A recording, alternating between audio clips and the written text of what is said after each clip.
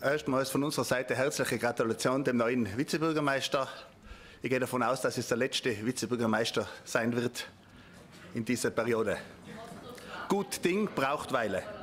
Sehr geehrte Damen und Herren, ich und unsere Gemeinderatskollegen dürfen ja noch sehr geehrte Damen und Herren sagen, währenddessen mit einer Dienstanweisung vom 25. Oktober von Seiten der Magistratsdirektorin den Bediensteten der Stadt Innsbruck das untersagt wird, weil sich dort das dritte Geschlecht vielleicht benachteiligt fühlen könnte, die dürfen nur noch Guten Tag sagen.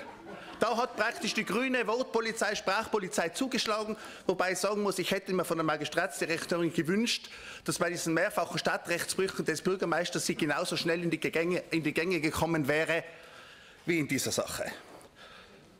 Wahljahr 2024, das Superwahljahr. Ich kann jetzt schon sagen und ankündigen, und da brauche ich kein Wahrsager sein, es wird nicht das Wahljahr 2024 sein, sondern es wird für die Grüne Verbots-, Baumfäller- und Betonierfraktion das Abwahljahr 2024 sein. Und zwar das Abwahljahr auf Europaebene, das Abwahljahr auf Nationalratsebene und auch das Abwahljahr, und das betrifft uns und uns Innsbruck am meisten, bei der Gemeinderatswahl. Was hat der Bürgermeister die letzten sechs Jahre zusammengebracht? Mit drei Buchstaben gleich erklärt. SDS, aber das sind jetzt nicht diese, diese Musikgruppe aus der Steiermark. SDS ist die Abkürzung für Stadtrechtsbrüche, Drüberfahrpolitik und Stillstand. Was hat der Bürgermeister noch erreicht? Dem Bürgermeister ist gelungen, die Stadtregierung zu sprengen. Also Bürgermeister verdient eigentlich den Namen Sprengmeister, aber nicht nur die Stadtregierung, er hat ja auch seine eigene Fraktion gesprengt, wo ein paar aufgestanden sind, ein paar Schneidige, noch einmal Gratulation, die gesagt haben, wir halten es da nicht mehr aus. Diese Drüberfahrpolitik, die der Bürgermeister nicht nur in der Stadt an den Tag legt, sondern auch in der eigenen Fraktion, war für den nicht mehr auszuhalten. Und aus dem Grund haben sie den, die Not, den Notausstieg gewählt. Gratulation zu viel, so viel Schneid.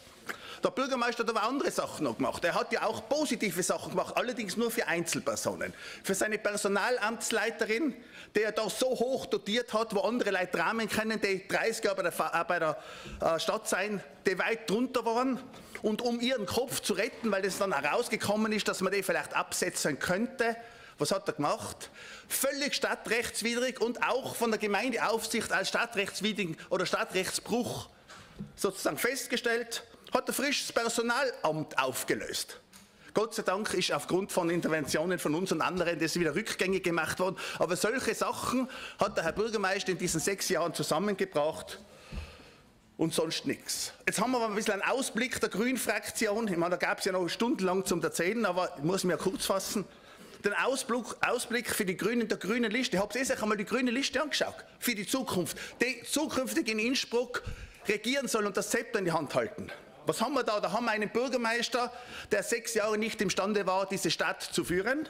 Da haben wir die Frau Becks als zweiter Stelle, die eigentlich ihr Geld auch damit verdient, andere Gemeinderatskollegen zu klagen, anstatt, anstatt anderer Tätigkeit nachzugehen. Ist so, de facto, ist ganz gleich.